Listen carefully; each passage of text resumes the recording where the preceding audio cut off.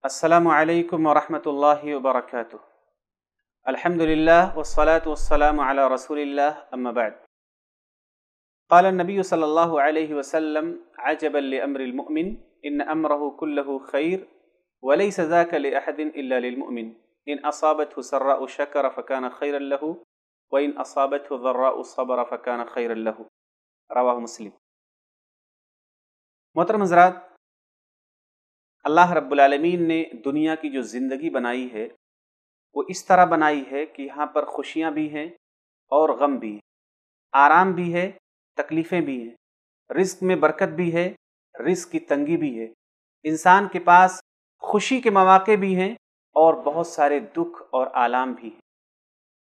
और ऐसी दुनिया में रहने के लिए जिस इंसान को अच्छी समझ हो जिस इंसान को इस ज़िंदगी में बेहतरीन ज़िंदगी गुजारने का ढंग हो, वही इंसान हमेशा फ़ायदे में रह सकता है। और ऐसा मकाम, ऐसा ऊँचा दर्जा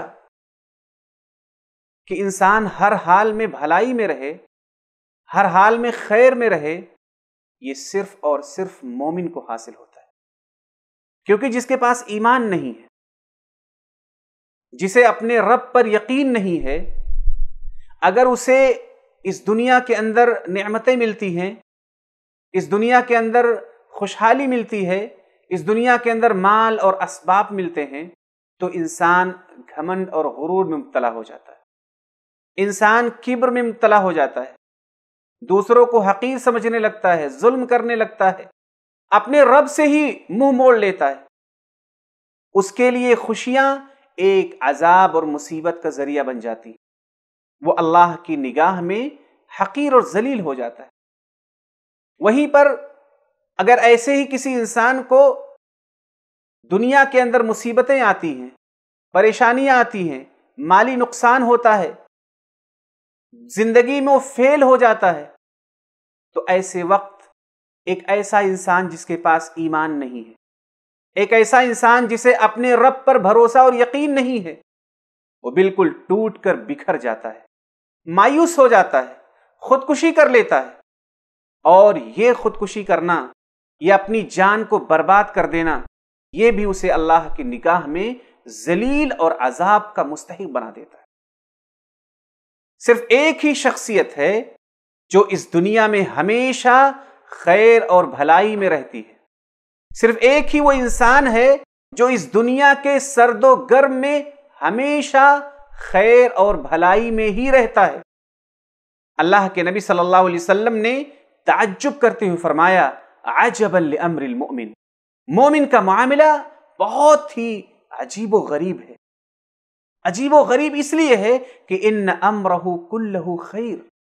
कि मोमिन का हर मामला उसके लिए बेहतर होता है। मोमिन खुशी में होता है तो भी भलाई में होता है। और मोमिन मुसीबतों में होता है तो भी भलाई में होता है। मोमिन हर हाल में अपने लिए खैर और भलाई के मौाक़े पाता है और हासिल करता रहता है। वो कभी नुकसान में नहीं होता, हमेशा खैर में होता है। और आपने फरमाया वलई सदालिन और ये मकाम, ये अजीम तरीन रुतबा कि हमेशा भलाई में इंसान रहे, ये सिर्फ़ और सिर्फ़ मोमिन को ही हासिल होता है। ये मकाम किसी काफिर को, किसी मुनाफिक को, किसी फासिक को हासिल नहीं होता। ये मकाम सिर्फ़ साहिब ईमान को हासिल होता है कि वो नेमतों में होता है तो भी भलाई पाता है और मुसीबतों में होता है, फेल हो जाता है, नाकाम हो जाता है, मुसीबतों में घिर जाता है तो भी भलाई में होता है। वो कैसे?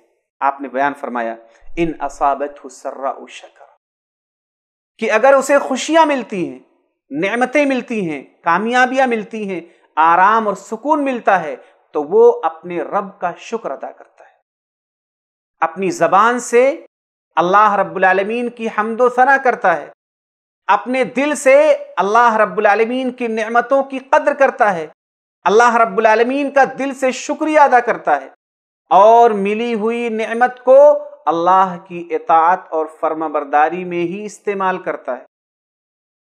फ़कान खैर लहू तो ये उसके लिए खैर का सबब बन जाता है कि अल्लाह रब्बुल उसकी नेमतों में मजीद इजाफा फरमाता है। अल्लाह रब्बुल उसे खुश हो जाता है, अल्लाह रब्बुल उसे मजीद तोफ़ी अता फरमाता है तो नेमतें उसके लिए खैर का ज़रिया बन जाती व इन असाबत वर्रा सबर फ़कान खैर लहू और अगर उसे मुसीबत पहुँचती है, तकलीफ़ पहुँचती है, वो बीमार हो जाता है, उसका माल बर्बाद हो जाता है तो वो सब्र करता है, अपनी जबान को रोक कर रखता है, अपने दिल को रोक कर रखता है, अपने आजा जवारी को रोक रखता है। फ़कान खैर लहू तो ये सब्र उसके लिए बेहतर होता है, क्योंकि सब्र का बदला कयामत के दिन बेहिसाब मिलने वाला और इस तरह एक मोमिन दोनों हालतों में इंतहाई खैर और भलाई पर होता है।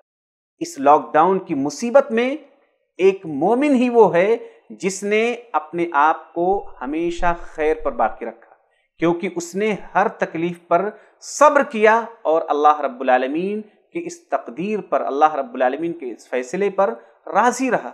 ज़रूरत इस बात की है कि हम और आप अगर चाहते हैं कि हमेशा भलाई में रहें तो मोमिन वाली ज़िंदगी गुजारें, जब नेमतें मिलें तो अल्लाह के शुक्र गुजार रहें। और जब मुसीबतें आएँ तो अल्लाह रब्बुलमीन के लिए सब्र करें और इस तरह आप दोनों हालतों में अपने लिए खैर और भलाई खास कर लेते हैं। अल्लाह रब्बुलमीन हम सबको एक मोमिन की ज़िंदगी गुजारने की तोफ़ी अता फ़रमाए। आमीन। अल्लाम वरहमल वर्का